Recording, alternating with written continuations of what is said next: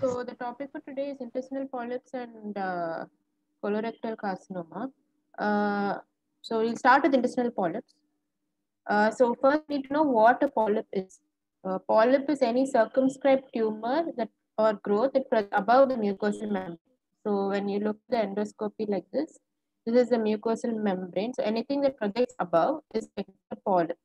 A polyp can be a neoplastic polyp or a non-neoplastic polyp. So based on the attachment of the polyp, uh, it is classified into sessile polyp and pedunculated polyp. Uh, sessile polyp will be like this. It will have a broad-based attachment. A pedunculated polyp will be attached to the intestinal wall with the stalk. So the word sessile comes from flowers. So flowers that are sessile directly at the stem without a stalk. So that's where the word comes from. This is a sessile polyp and this is a pedunculated polyp. Uh, based on the histology, uh, you can have mucosal polyps and submucosal polyps. So this is the histology of the colon. Uh, so here you see the mucosa, and this is the muscularis mucosae, this is submucosa, and this is the muscularis propria. So a polyp can arise either from the mucosa or it can arise from the submucosa. So uh, under mucosal polyps, we have epithelial polyps that uh, can be further categorized into serrated lesions and conventional adenoma. You have hamartomatous polyps and inflammatory polyps. Submucosal polyps uh, can be anything that arises in the submucosa. So lipomas can occur, lymphoid aggregates can occur, carcinoids can occur. So these we won't be dealing with uh, in detail. We will be focusing primarily on mucosal polyps. So first we have the epithelial polyps. Under epithelial polyps, we'll deal with serrated lesions. So serrated polyps of colon rectum can be classified into hyperplastic polyps, traditional serrated adenomas, and sessile serrated adenomas are polyps. This has been renamed now. Now it's called sessile serrated lesions because most of them are flat and not polypoidal. Uh, hyperplastic polyps are by far the most common polyps and they can occur in the distal colon or rectum. Uh, traditional serrated adenomas are least common and they usually occur in the distal colon. And sessile serrated lesions occur in the proximal colon. So what does serrated mean? So this is a nice edge. A is serrated when you see these bumps. So like that, the serrated polyps also will have multiple serrations. So coming to hyperplastic polyp, uh, so the theory uh, about why a hyperplastic polyp occurs is like this. So um, first, uh, it is a normal crypt. So this is a crypt of a colon. Uh, in the normal crypt, the proliferation occurs in this region. So that is the base. So here the cells proliferate and as they move upward, but in hyperplastic polyp, what happens is this proliferation zone is expanded. Okay. So there is more proliferation and there is less apoptosis of the cells as they occur uh, as they progress towards the surface. So as because of that, there is more cells in this space. So that causes it to wrinkle like this. And that's why uh, there is serrations in hyperplastic polyp. Uh, hyperplastic polyp, uh, more than seven, I hyperplastic polyps are the most common uh, serrated polyps, right? So the most common, so they uh, account for more than 75% of serrated polyps, and they usually occur in older age group. Uh, grossly, you will see a small dome shaped uh, polyp over here. And I already told you that they're more common in distal colon and rectum, and they usually sessile. And what you need to know is a hyperplastic polyp has no malignant potential. So if you have a, a hyperplastic polyp, you don't have to follow up the patient long term. Uh, so microscopically, you see these well-formed elongated glands in it, and there is serrations. You can see that there is irregularity over here. But this serrations will be more towards the surface. It will not extend towards the base. And there will be no significant cytological atypia. And the architecture of the crypts will be more or less rating. Coming to sessile serrated adenoma it used to be called, now it's called sessile serrated lesion. Uh, this is a precancerous lesion. So as I told you, it's called sessile serrated lesion because it is no longer, it, it, most of the lesions tend to be flat like this. And uh, this is more common in the proximal colon. And uh, uh, there is, um, uh, this is a pre-malignant condition. So if you have a serrated lesion, you have to follow up the uh, patient. Uh, if you look at the features of a serrated uh, uh, there will be distortion of the architecture. So I told you in hyperplastic polyps, there is no distortion of architecture. The architecture is more or less retained.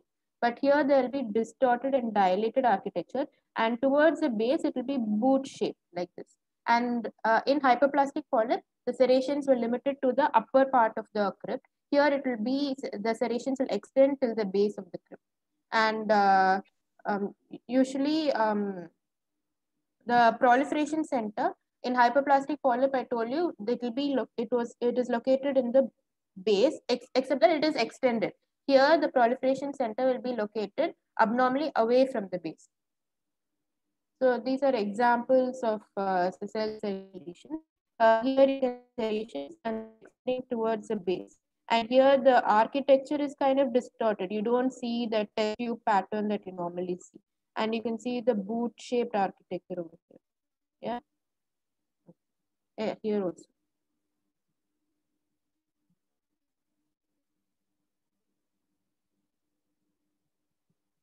Is everyone able to hear me? It's an is unstable. Ma'am, we can hear you, ma'am. Okay, all right. So uh, if you see a sessile serrated lesion, you have to note whether there is dysplasia or not. Because here I've given that usually there is uh, no cytological dysplasia. So you have to look for dysplasia because if dysplasia is, a, I told you sessile serrated lesion is a pre-malignant condition. So if you have dysplasia in a sessile serrated lesion, you are more likely to, uh, like uh, the patient is more likely to develop a malignancy. Uh, coming to traditional adenoma, this is also a precancerous lesion and it's the least common one. It's usually seen in the distal colon. Unlike sessile serrated lesion, it will be protuberant. And then there will be a complex architecture to this microscopically. So you will think that it is an adenoma. So let's look at the features over here. So you, see a complex architecture over here, right? So it will kind of look like a villous adenoma, but you have to be careful and look for serration. Uh, there are the uh, the important feature that you see in traditional serrated adenoma is ectopic crypts. So you in this picture, if you see, you see one crypt over here. Within a crypt, you see multiple crypts. So ectopic crypts are a feature of traditional serrated adenoma. And the individual cell morphology also will be distinct. There will be elongated cells and they will have this penicillate nuclei, long, thin nuclei. This is also a feature of traditional serrated adenoma. Traditional serrated adenoma is also something that requires follow-up. So this is just an overview of the serrated polyps. You have hyperplastic polyps, sessile serrated polyps, and traditional serrated polyps. Hyperplastic polyp, if you if if you um, get a report that says hyperplastic polyp, you don't have to worry. You don't have to follow up the patient. But sessile serrated lesions and traditional serrated polyps, you need to follow up the patient. Okay. Next, uh, we finished the epithelial polyps. We'll come to the hamartomatous polyps. So can someone tell me what a hamartoma is?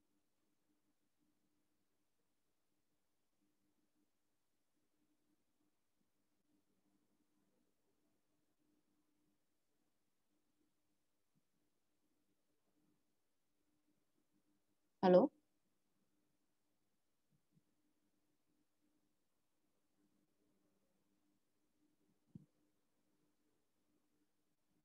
Okay. So hamartomas are basically uh, abnormal proliferation of endogenous tissue, right? So there's benign mal malformation of tissue elements, but it will be disorganized proliferation. Uh, and hamartomatous polyps can occur sporadically or they can be component of genetic syndrome. Hamartomatous polyps can be classified into juvenile polyps, Peutz-Jeghers polyps, uh, Cowden uh, and polyps that are part of Cowden syndrome and Cronkhite-Canada syndrome.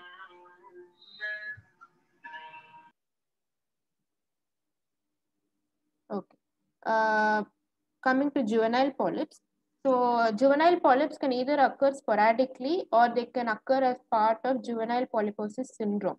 Okay. So when do you call something a juvenile polyposis syndrome? When there are more than five juvenile polyps of the colon and rectum, there are juvenile polyps throughout the entire GIT. And uh, if, there, eh, if the patient has a family history of juvenile polyps. If there is juvenile polyposis syndrome, it is associated with a lot of extra, intest eh, eh, extra intestinal manifestations. There can be congenital anomalies, there can be ganglioneuromas, pulmonary AV mal malformations. So a lot of extra intestinal uh, manifestations also you have to watch out for. Okay. So a juvenile polyp commonly occurs in children. Uh, but it can occur in adults, but it commonly occurs in children. And it usually occurs in the rectum. If it is only a juvenile polyp, if it is not a part of juvenile polyposis syndrome, it is usually solitary. Okay. And because it occurs in the rectum, it commonly manifests as bleeding. So a patient will have hematochezia. Uh, and uh, because it can pull the rectum downwards and can cause rectal prolapse and intussusception. Uh, juvenile, uh, it is usually associated with mutations in BMPRI and SMAD4. Uh, if usually if it occurs, if it occurs, if only a solitary juvenile polyp is there, it does not require follow-up. And um, there is uh, no malignant potential. So you only need to remove it if it is symptomatic. Uh, so this the grossly, they usually pedunculated polyp and they have a smooth glistening surface and reddish tan cut surface. Uh, cut section, you see multiple tortuous dilated crypts as well as mucus secreting glands. But the intervening stroma is important. It's usually edematous and there are a lot of inflammatory cells in the, in the intervening stroma. This is important. I'll tell you why later on. Coming to Peutz-Jeghers polyp, it is also a hamartomatous lesion. It's usually seen in the stomach, small intestine, and colon. Uh, solitarily, it usually does not occur. So uh, it usually occurs as a part of Peutz-Jeghers syndrome. Uh, Peutz-Jeghers syndrome is an uh, autosomal dominant syndrome, and usually you see this hamartomatous polyp in the GI. Apart from that, you see mucocutaneous hyperpigmentation. Um, usually it occurs due to germline mutation in the STK11 LKB1, uh, and there is increased risk of other cancers also. So the risk of GI tumors is 2 to 10 percent the risk of non-GI tumors are also there. So they get can get breast cancers, they can get pancreatic cancers, stomach cancers, ovarian cancers. So this is a diagnostic criteria for Peutz-Jeghers syndrome, and it's usually associated with a lot of extra-intestinal manifestations. And you can see mucocutaneous hyperpigmentation like this. Uh, so grossly, it can be sessile polyp or pedunculated polyp. Microscopically, you can see a central core of smooth muscle like this. And there is an arbor arborizing pattern. So arborizing means like tree-like pattern with heaped up epithelium. Uh, the intervening stroma you have to pay attention to because I said in juvenile polyp, it is highly inflamed with granulation tissue. But here it is just smooth muscle tissue without inflammatory cells. Uh, coming to Cowden syndrome, Cowden disease, I, I think you know is due to PTEN mutation and you get numerous hamartomatous polyps uh, along with lipomas and ganglioneuromas of the intestine. And there are a lot of extra intestinal manifestation also. Um, uh, there are mutate, uh, the, there can be some benign lesions in the skin. Apart from that, you get tumors of the breast, endometrium, and thyroid. Uh, Cronkhite-Canada syndrome is a non-hereditary syndrome and uh, the polyps re resemble juvenile polyps. Uh, so the intervening stroma obviously will be inflamed, but they have other features also.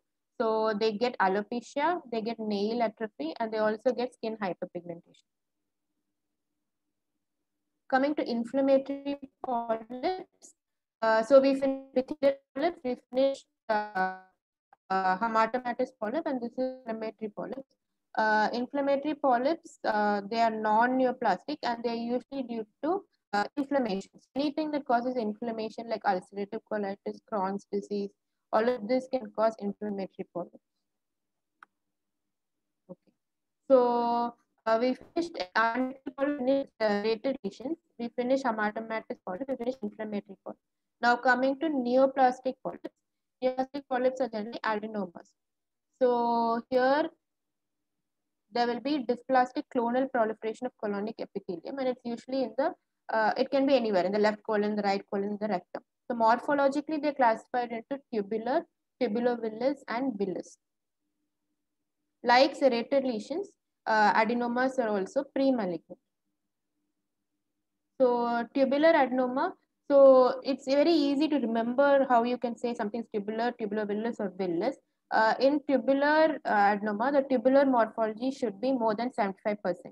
In villous adenoma, the villous morphology should be more than 75%. Anything in between is tubulovillous. So these are tubules. These are tubules.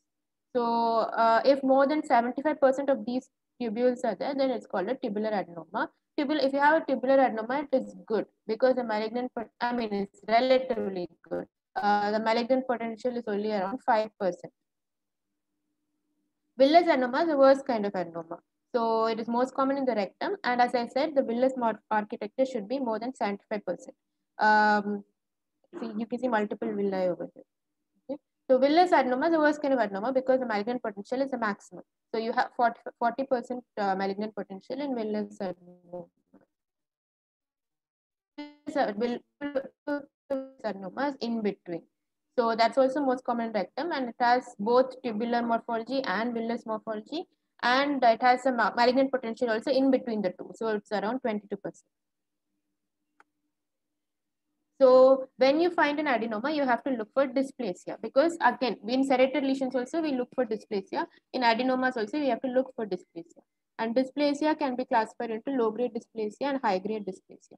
So in low grade dysplasia, this is the picture of low grade dysplasia. The polarity of the cells is relatively maintained. Uh, there is mild nuclear atypia. Some increase in mitosis will be there, but it will not extend till the tip. That is, it won't extend till the luminal surface. This is this uh, this is a picture of high grade dysplasia.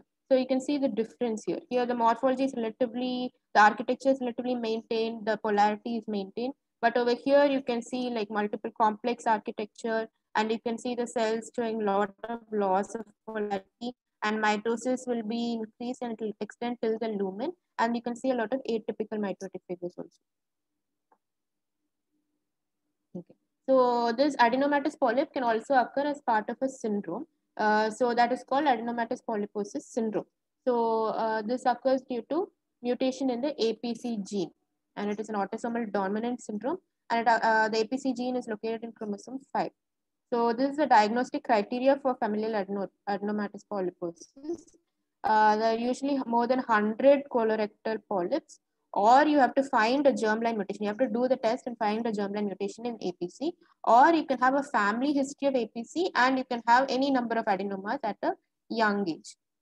So these, uh, there is a, if you have FAP, you have a 100% chance of getting colorectal adenocarcinomas which is why screening in these patients is very important.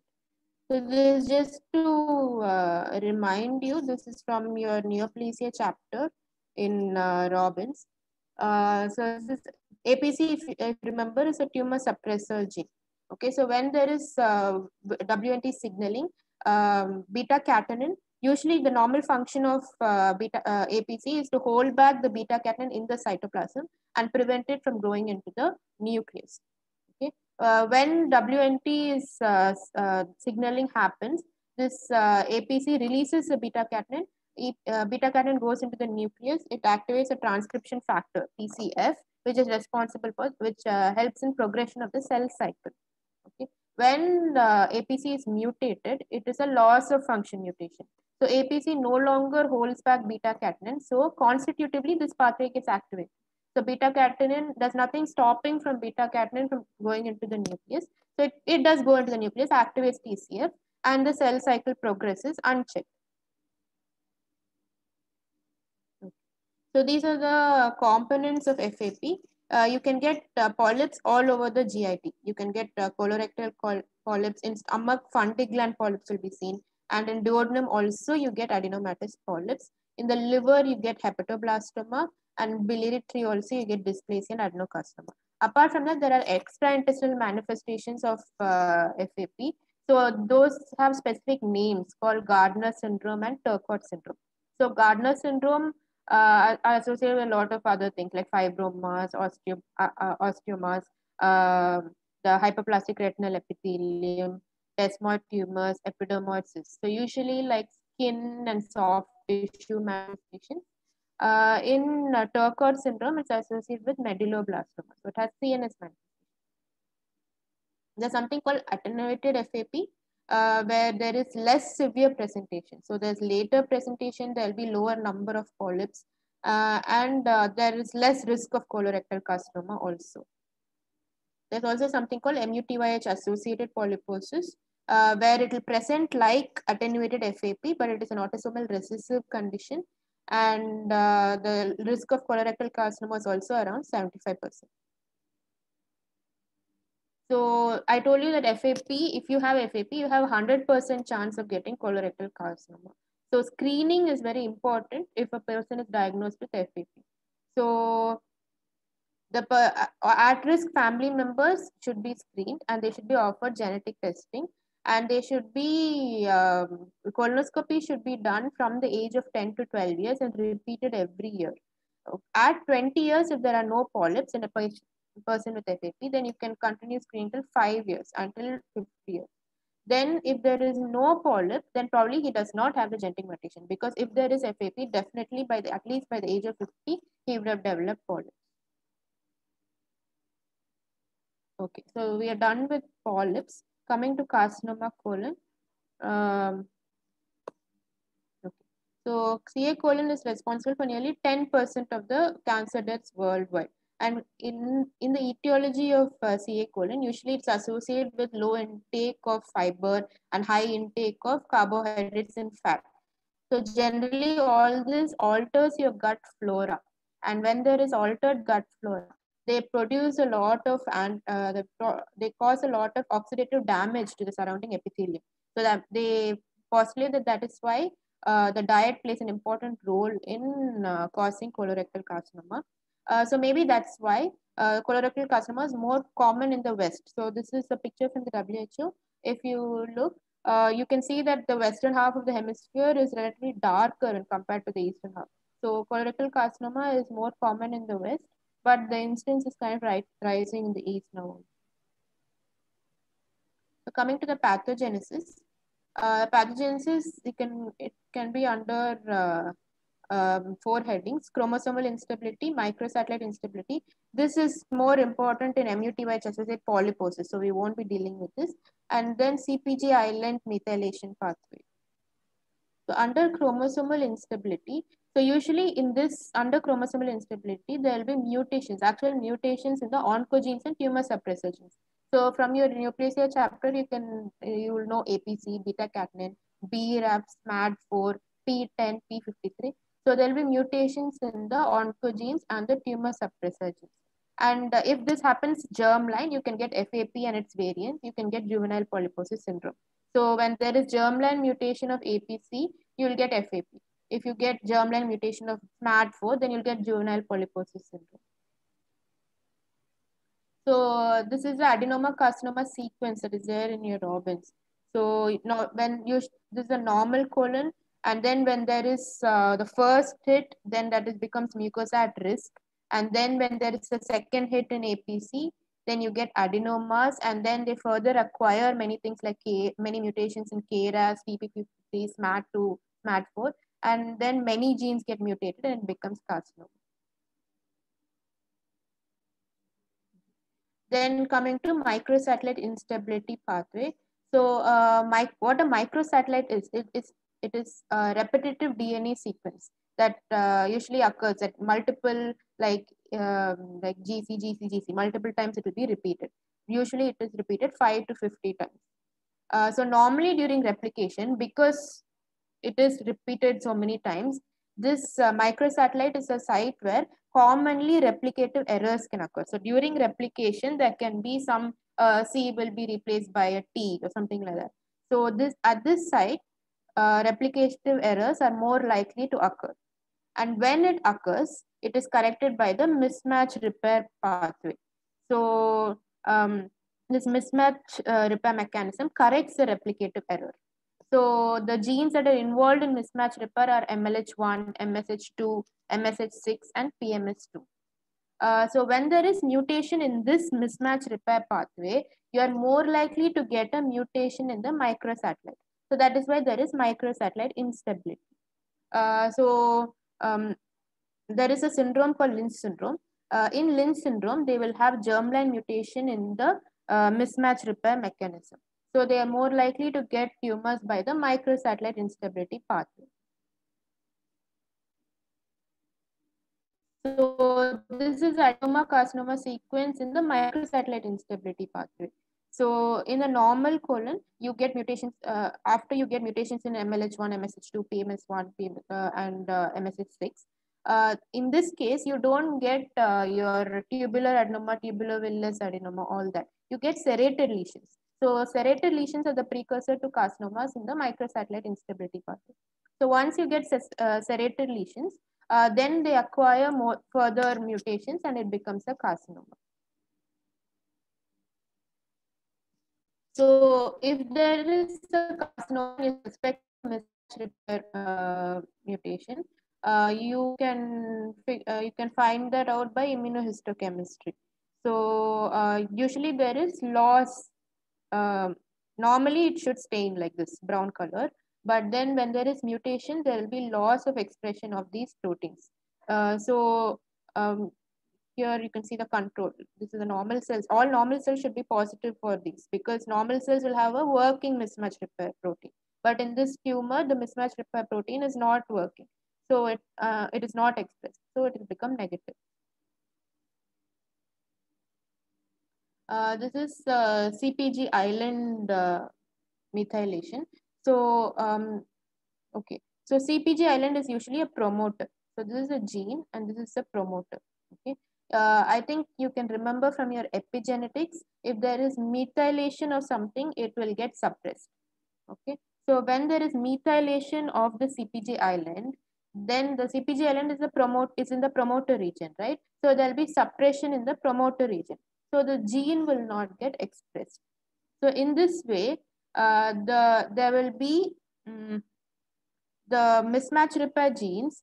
The there will be no mutations in the mismatch repair genes by themselves, but there will be methylation of the promoter. So the mismatch repair genes will not get expressed. So there'll be microsatellite unstable colon cancer, but there'll be no mutation in the DNA of the mismatch repair enzymes. So this uh, commonly the mismatch repair gene that is uh, mutated is MLH1. So that promoter region gets hypermethylated. So the MLH1 expression is reduced. And so the function of MLH1 is reduced. So there will be microsatellite instability. Associated with this, commonly you get also BRAF mutation. So we'll briefly talk about Lynch syndrome. Lynch syndrome is an autosomal dominant syndrome. Uh, it is more common than FAPs. So uh, the average age is around 20 to 30 and the average age of colorectal carcinoma is 30 to 40. This occurs due to mutation in the mismatch repair genes. And uh, there will be 80% lifetime risk of colorectal carcinoma, but there will also be other risk of other carcinomas, especially endometrial carcinomas. Apart from that, you get ovarian carcinomas, pancreatic carcinomas, biliary tract carcinomas, urothelial carcinomas. So for diagnosis of HNPCC, there's something called Amsterdam criteria. So, um, so basically it is a one, two, three rule. So, uh, or three, two, one rule. You need to have three affected relatives with histologically verified adenocarcinoma of the large bowel. Uh, that, and these three relatives should be in two successive generations of a family and one of them should be diagnosed before the age of 50 years. You have to exclude FAP and the tumors you have to verify by pathological examination. Uh, in modified Amsterdam criteria, it is the same as Amsterdam, uh, but then the, uh, except the cancer must be associated with, uh, it can be associated with any of the HNPCC cancers like endometrium, small bowel, ureter, renal pelvis, and not necessarily colon cancer. Coming to morphology of uh, colonic carcinomas. so this is an, a picture from the WHO. Here you can see an ulcer Okay, I think you'll know the difference between a benign and a malignant ulcer in the graph. So here you can see that there are everted margins over here. So an everted margin is usually seen in a malignant ulcer. So this is a cross section of the same everted margin that you see. So this is the everted margin and this is the base of the ulcer over here. Here you can see that there is some whitish lesion and you can see the whitish lesion is going into the submucosa over here. So this is a tumor that is invading up to the submucosa. This is a muscularis layer that seems to be intact. Okay. So there is a difference between right-sided colonic cancer and left-sided colonic cancer. In right-sided colonic cancer, generally they present as polyps. So it will be arise only from one wall of the intestine and it will grow in a polypoidal manner like this. Okay. Uh, the importance I'll tell you later. Uh, left-sided, uh, I mean, it's not absolute. Uh, left-sided coronary cancer tends to grow circumferentially usually. So you can have it here. See here, there is thickening of the wall over here, the thickening over here, and you can see overall uh, narrowing of the lumen. So this is like a napkin ring. So it is basically, it is constricting the lumen of the entire colon. Uh, coming to microscopy, uh, it is similar to, generally similar to adenocarcinomas of any size. So it can be well differentiated or can be poorly differentiated. When it is well differentiated, you see glands like this. When it's poorly differentiated, you will not be able to make out the, uh, it, it will be quite very different from the parent tissue. When it's well differentiated, it will be kind of similar to the parent tissue. That's why you're seeing glands over here. Here you see sheath cells. There'll be, there'll be no identity to the cells themselves. Uh, in colonic cancer, generally within the lumen, you tend to see a lot of necrotic debris.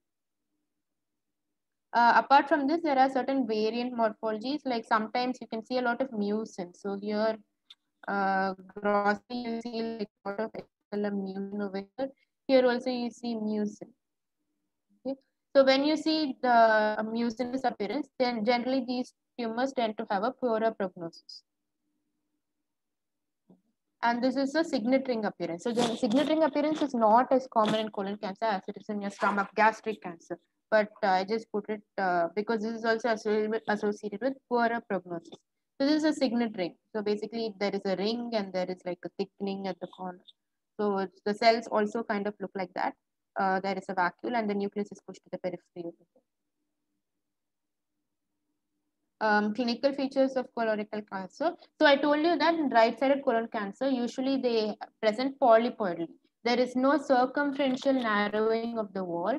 So generally these uh, these tumors cause obstruction pretty late on in the disease. So initially the um, the symptoms that you see will be fatigue and weakness, and that is due to iron deficiency anemia. So what Robbins says is the dictum is if you see iron deficiency anemia. In an older man or a postmenopausal woman, you generally have to rule out GI cancer. Left-sided colon cancer, because they uh, cause circumferential narrowing, they're more likely to cause obstructive symptoms. And so, and uh, also they're pretty uh, close to the anal uh, um, orifice. So you can cause uh, bleeding, it can cause change in the bowel habits, it can cause cramping, so left-sided colon cancer are more likely to be symptomatic, whereas right-sided colon cancers tend to be insidious. So um, this is, okay. So this is the staging of colon cancer. Uh, you don't need to know a lot. So basically, um, you know, I think you're aware of the TNM staging. Uh, T, T stands for tumor. So this is a tumor proper uh, N stands for lymph nodes and M stands for metastasis. Uh, in all the, um, in the GI tract entirely, the T will be uh, determined by the depth of invasion of the tumor. So this is T1. T1, the, tum uh, the tumor will in invade the submucosa only. In T2, the tumor will invade the muscularis propria. In T3, it will invade through the muscularis propria uh, in T4, it will reach the visceral period of the. Okay. So uh, coming to reach the lymph node, that you can also it can that's also classified into N0, N1, and N2. Uh, one thing that is important that you have to notice uh, when we get a specimen uh, of colon or a resection specimen of colon, we have to find at least 12 lymph nodes we have to see at least 12 lymph nodes under the microscope before uh, we can say that uh, the there, are, there is no lymph node involvement. So it is important for a surgeon to adequately dissect the fat around the colon and give us adequate number of lymph nodes because um, I told you that there are uh, histological subtypes that are associated with poor prognosis and all. But by far the most important factors that are affecting the prognosis are the depth of invasion and the lymph node involvement. So it is important for us to examine adequate number of lymph nodes before we call, say that the patient does not have any regional lymph node metastasis. Like coming to M criteria, um, uh, the tumors of the colon most commonly go to the liver because um, the colon is commonly drained by the portal uh, drainage. So the portal drainage first goes to the liver.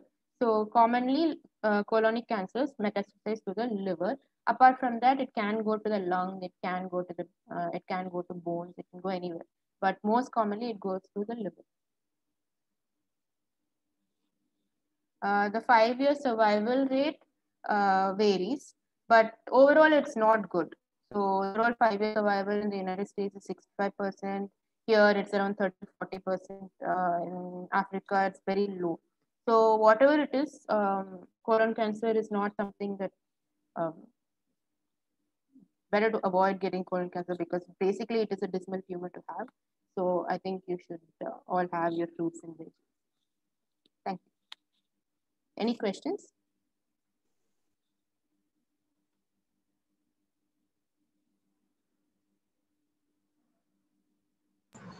No, ma'am. Okay.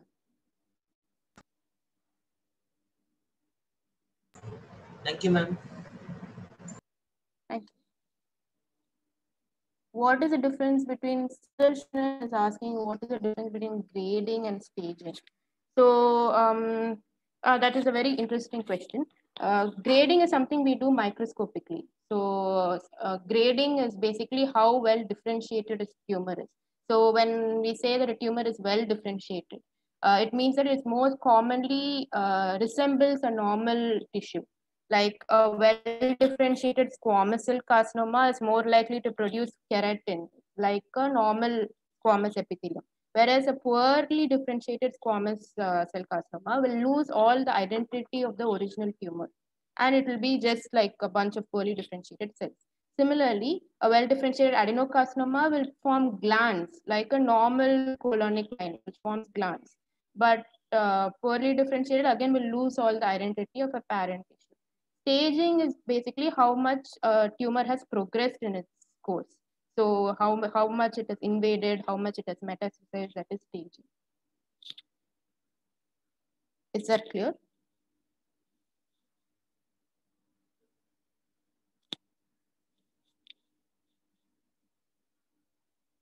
Uh, ma'am, uh, just one small follow-up question, if I may ask. Yeah, yeah, sure. Ma'am, so if it's poorly differentiated, is that a Mm. better prognosis or is uh, highly No, no. Generally, a well differentiated tumor is considered to be a better prognosis uh, than a poorly differentiated one. But uh, there is a lot of confounding factors to that. So basically, staging is uh, very important. How much a tumor has progressed is very important. Uh, grading is also important, and by which a well differentiated tumor will generally tend to perform better than a poorly. Uh, thank you so much, ma'am. Right.